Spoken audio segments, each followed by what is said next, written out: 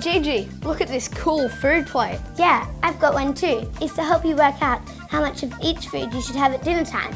Well, I'm hungry, so let's try them out.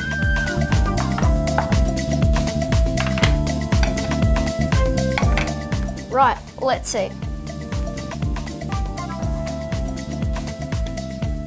Uh, Tim, food plate, you need much more of a balance in your meal. You should try to have one third protein, one third carbohydrate, and one third salads and vegetables.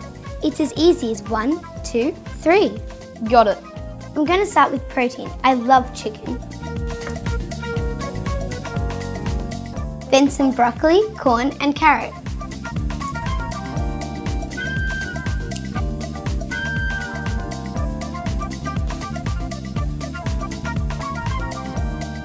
And finally, my carbohydrate. Some brown rice. Yum.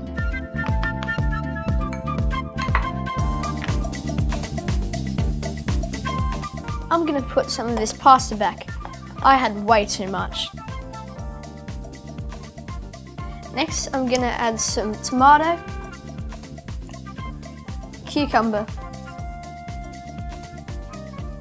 and lettuce. And number three, some meatballs for protein.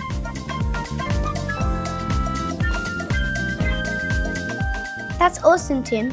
Now, we've just been looking at dinner, but bear in mind, it's also a good idea to check out how many servings of each food you need across the entire day.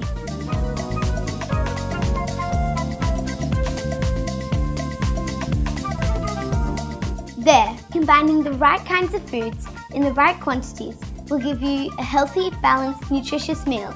Gigi, that really was as easy as one, two, three. Play the What's on Your Plate Kids game to see how much you know about the different food groups.